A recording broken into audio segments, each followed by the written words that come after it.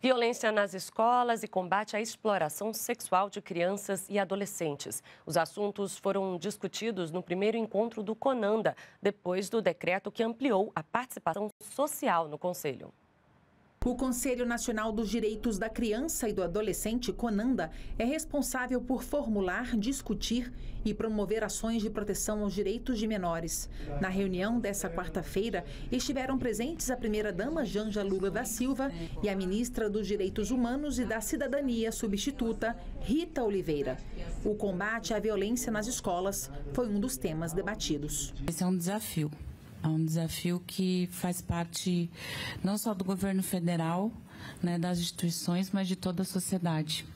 E é, nós também temos a obrigação de discutir essa questão aqui nesse, nesse conselho, né, de que forma que nós podemos propor ações. Né? Não vai ser com, com policial armado dentro da sala de aula, isso a gente já sabe. Acho que quem tem o mínimo de, de entendimento sabe isso. A reunião do Conanda também discutiu ações para o 18 de maio, Dia Nacional de Combate ao Abuso e à Exploração Sexual de Crianças e Adolescentes. Nós temos uma preocupação muito grande com a questão da exploração sexual infantil, mas também todas as violações né, que muitas vezes é, fazem com que essa, essa situação de exploração sexual infantil seja é, o ápice das violações de um modo geral. Então, nós estamos trabalhando com várias ações para lançar nesse 18 de maio e essas ações vão ser também dialogadas aqui nesse espaço.